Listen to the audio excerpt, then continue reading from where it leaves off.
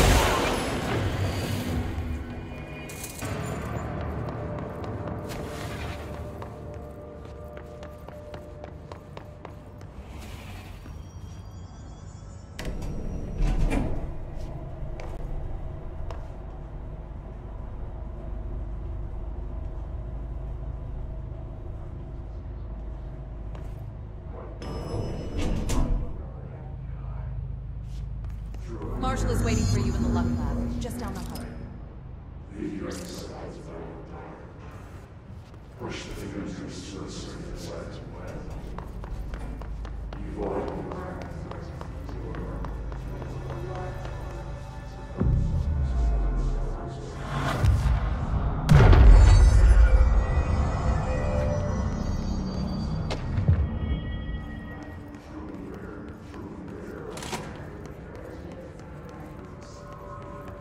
There you are. I was starting to worry.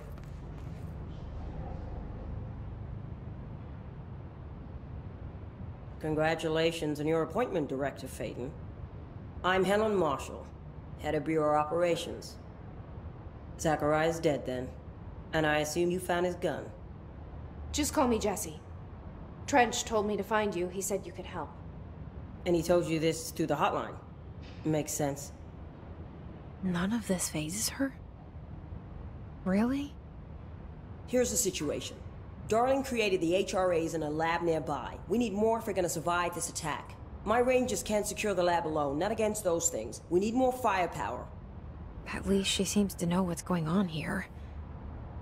She could know about Dylan. I can clear out the hiss. I'll be your firepower.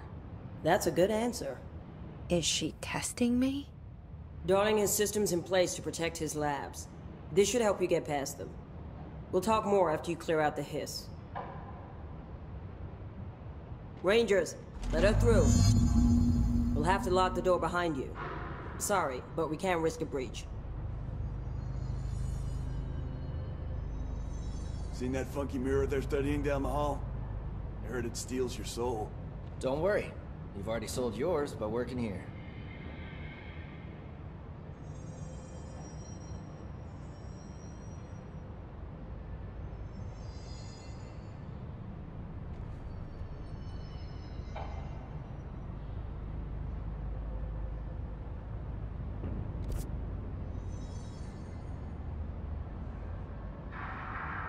Has anyone heard from Salvador? Last anyone heard, he was taking a security team into containment. The reason is currently unknown. I think I know the reason.